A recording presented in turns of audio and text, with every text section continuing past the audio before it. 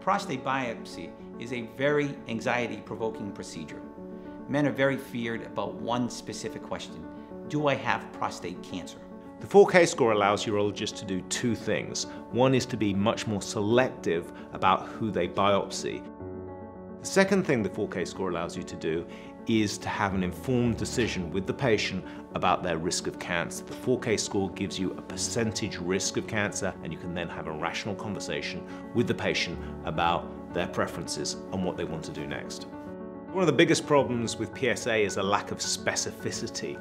Most men with a high PSA do not actually have prostate cancer. So urologists in practice have to biopsy many men to find a relatively limited number who have the sort of high-grade disease that we're really worried about. We, as a country, do about a million biopsies a year. Only 250,000 of those are positives. I think we should develop new tools to improve the diagnostic accuracy of testing to be able to find prostate cancers that are potentially lethal and avoid biopsying men who have cancers that pose no threat to their life and health. What we want to do with the 4K score test is give confidence back to both the urologists and the patients that they're not going to be overdiagnosed, they're not going to be overtreated. When they showed me that this tool could be used to markedly reduce the need for biopsy, without missing very many high-grade cancers, I realized that this is something that could lower the harms of screening for prostate cancer and improve the benefits.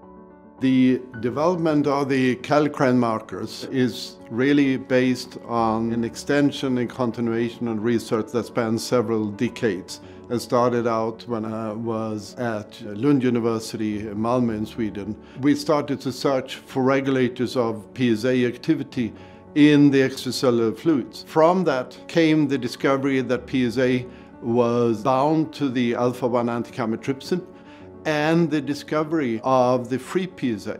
Through that came then the recognition that HK2 had antibody reagents that reacted identically between PSA and HK2, but also reagents that discriminated HK2 uniquely from PSA. When we first started looking at the different markers that make up the 4K score, we had this obvious problem. There are four of them. It's too much information for them to deal with. You actually have to convert it into something that's a, a little easier. We use an approach called logistic regression. You can think of it just as a formula. On the left-hand side, you have risk of cancer, and on the right-hand side, you have what's called a coefficient, something like 4, 2, 1.5, minus 3, and then multiplied by the level of the particular marker. And each of those four different markers has a different coefficient. And you just multiply the coefficient by the level of the marker, add all those up, and you have your risk of high-grade cancer on biopsy.